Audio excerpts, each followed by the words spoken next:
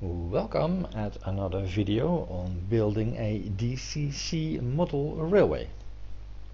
I'm distracted a bit by the production of the train controller videos, but there has been a little progress on my own layout. Uh, I've been working on some production of the reed switch sensors, as you can see uh, on the picture on the block. 30 of those have been prepared also 60 holes have been drilled already in the uh, in the track. And the coming days or weeks I'll be mounting those reed switches one by one. But a few of them are already there uh, on here track west 1 and track west 2 the sensors have already been placed. Also a sensor is be placed over here and this is my speed profile measuring track which is almost 4 meters long so that gives me good accuracy. And just for fun I prof speed profiled my engines and did some accuracy tests on the uh, brake and stop markers. Oh and that's just for fun what I'd like to demonstrate here on this video. Um, well uh, we have a, a, red cargo train uh, waiting over here and I'm going to send it to west 2 we have our blue intercity train waiting over here. I'm going to send it to west 1 uh, uh, but first let me start the uh, the video. I'm trying to to work in parallel here. Uh, yes the video should be running now. Maybe there's double sound. Uh, this is our red cargo train uh, waiting until the track comes free. Uh, it's occupied now by the blue intercity.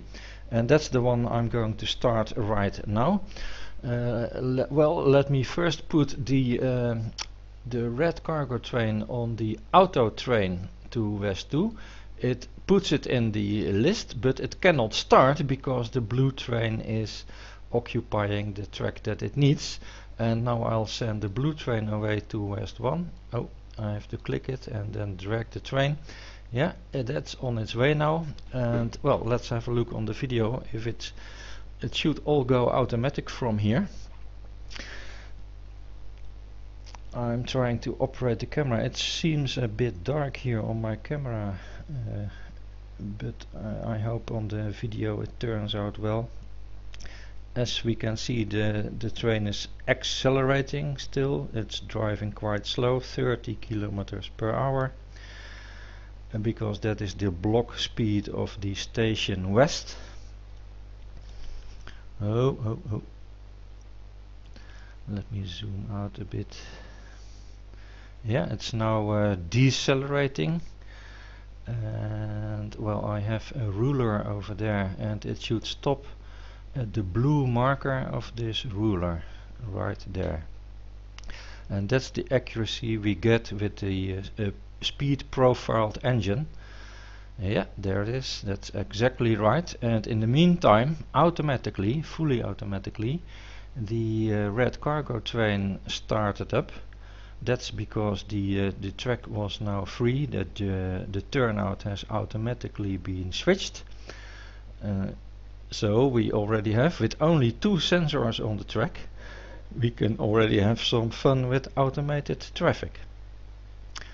Yeah it's almost at the point where it enters the track here over here and now I think it should start ramping down its speed yes it does neat and nice and well actually it should end up a centimeter accurate at the exact same spot as the intercity engine.